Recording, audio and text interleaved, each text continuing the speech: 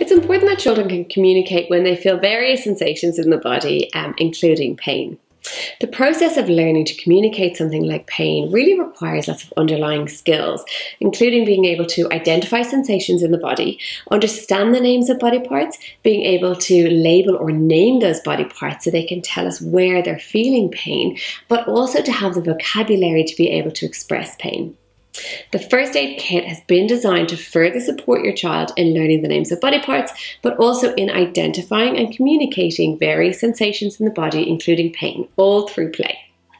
So, as always, it's important uh, when you introduce an activity with your child, really follow their lead, let them explore. So, as they take out the different items, you can name them.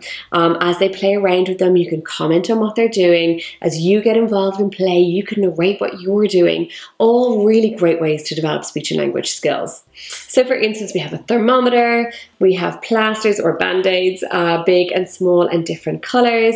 We have a wheat pack and we have a bandage, but we also have pictures of sample scenarios and corresponding actions that you can really talk through with your child. So, for instance, oh no, baby's knee is cut. What will we do? We need to get a plaster. And then you could really act it out with your baby as well. Um, so something else that you can do is use, use your wheat pack in really quite a clever way to help your child identify sensations and also learn the names of body parts. So you could use it hot or cold um, and try maybe putting it on baby. So say we put it on baby's head and say, hmm, oh, baby's head feels hot. Let's put it on your head. Oh yeah, your head feels hot. Or if it's cold, you can put it on your arm and say, oh, my arm feels cold. Let's try your arm. Does your arm feel cold? So not only are you helping them identify these sensations in the body while experiencing them, we're also naming those body parts. So, a really great way to learn by doing, but also learn through the senses. So there's lots of other concepts that we can explore as well. So we've talked about hot and cold, but you could really model other descriptive words as well, like itchy. Oh, baby's itchy. Oh, my arm is itchy. I'm going to scratch my arm. Or again, you could use your wheat pack. Pretend it was too hot and say, oh, oh, oh, it's so hot. Ah, it's hot, hot, hot. Oh, it's burning. Oh, it's too hot. It's burning not only are you having fun through pretend play and also this lovely role play that you have going on, but you're also importantly modeling some very important descriptive words for your child so that they can maybe communicate when they're feeling these uncomfortable sensations like feeling itchy or burning. Now, of course, we want your child to be able to communicate when they're in pain. So, again, you can go back to the pictures, back to your scenarios. You can really act these out. So, these are just sample scenarios. You can really act out whatever it is that you like. But say, for instance, with her baby's knee. So baby was walking along. Oh no, she fell down. Oh, poor baby hurt her knee.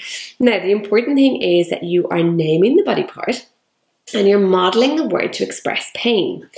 If your child is an early communicator, I recommend really focusing and emphasizing, emphasizing um, some smaller words to help your child express pain. So something like ow or ouch has a really nice simple syllable structure, and that'll be much easier for your child to imitate over a word like hurt or sore. Um, now, of course, you can use those other words as well. So very much depends on where your child is at.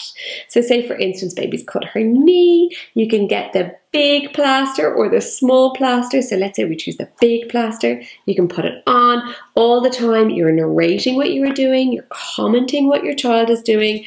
You're naming the body part and you're modeling that word to express pain.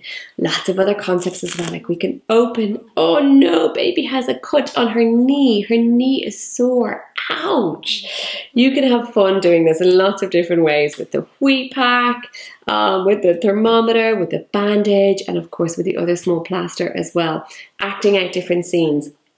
Now, of course, you can also support your child in developing these skills throughout your day. So you could be really quite animated and pretend to bump into something and say, ow, my knee is sore. You're naming the body part, you're modeling the word to express pain.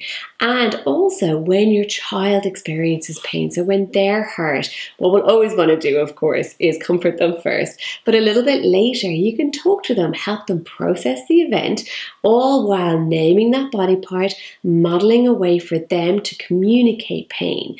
This will all help work towards and support them in coming to you and communicating the next time that they feel pain.